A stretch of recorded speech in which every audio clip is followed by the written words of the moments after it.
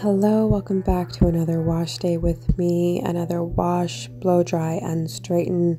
My hair has been like this for the past week. I'm getting back on the one week routine. I am going to shampoo my hair twice with my Tresemme Keratin Smooth Shampoo. This is all the products I'm going to be using today. Yes, that is a total of five conditioners. Now that my hair is clean, I'm going to go in and section and detangle and then apply the first conditioner, which is the Marc Anthony Strictly Curls Curl Envy Defrizzing Mask. I've only used this once. I used it for a wash and go, and I have been dying to use it in my hair. Again, the consistency is so smooth yet slightly slimy, slippery, kind of like snot, but like in a good way. The smell is great. It absorbs into the hair so well. I can rub it in into my hands and apply it, and it just glides through like butter. If I had to give this conditioner a rating based off of application and how my hair felt afterwards, I would give it a 5 out of 5. The jar is officially done and I do plan on repurchasing because I genuinely did enjoy using it. Conditioner number two is the L'Oreal Extraordinary 1001 Uses Hair Mask. Not gonna lie, it really does smell a lot like coconut oil, and I do not enjoy the smell, but the consistency is nice, not as luxurious in my opinion in feeling compared to the Marc Anthony, but it absorbs well, it holds up well in the jar. I can spread it in and my hair seems to be absorbing. I'm almost done this jar, so I'm gonna scoop out whatever's left and then toss it because of the smell. If I was to give it a rating, I would give it maybe a 3.5 or 4 out of 5. I don't plan on repurchasing just because of the smell, but it genuinely was a nice product. Conditioner number three is this Shea Moisture Intensive Hydration Hair Mask. This is the Manuka Honey and Mafura Oil one. I have only ever tried a few hair masks from Shea Moisture, and this is the one that I stuck with. I thought I loved the smell, the consistency, everything, but using it this time for the first time in almost a year, I did not enjoy it at all. It felt really thick and clumpy and lumpy, kind of the way coconut oil solidifies in the jar when it turns to a solid.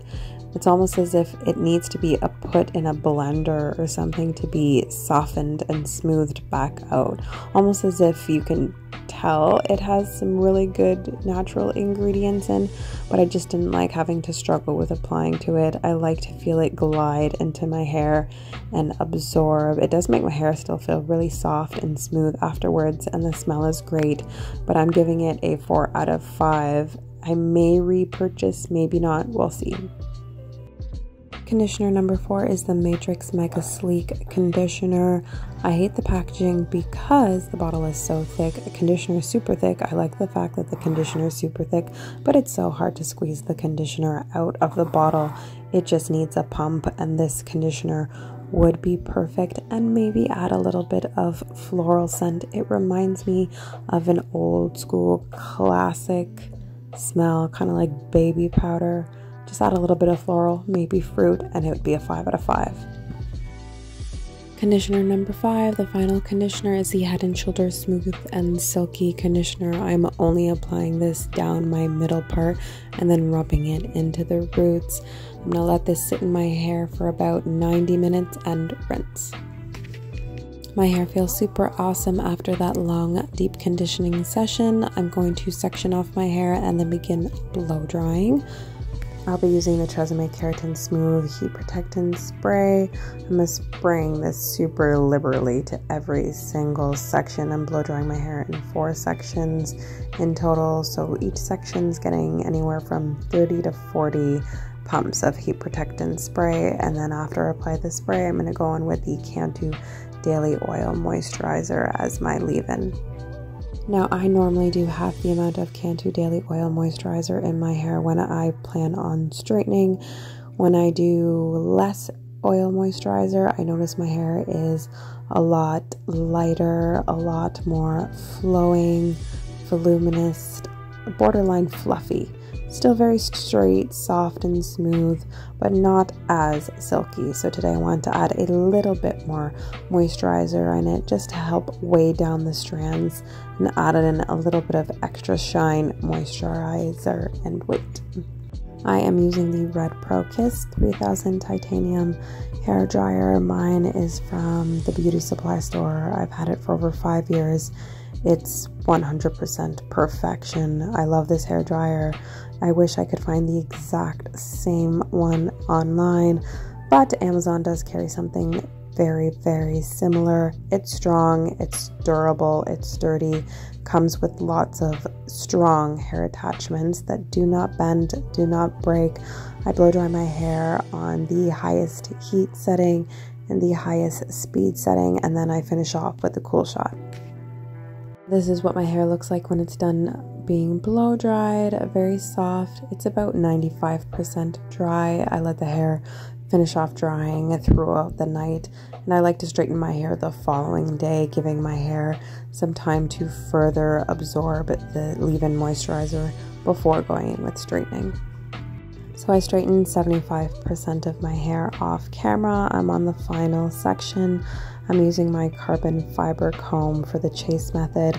I section my hair off in lengths that are about an inch or so, and then when I go in with the straightener, I like to angle it kind of upwards and then kind of downwards and then straight when I'm doing the roots. So three passes or so at the roots, and then two passes down the lengths of the hair just to make sure that the roots are properly straightened and the lengths of the hair are not getting unnecessary heat.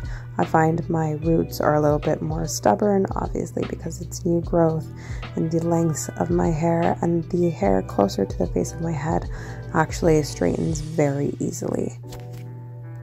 So, yesterday was the first day of fall slash autumn. So, straight hair season, I think, has officially started, and I'm super excited for it.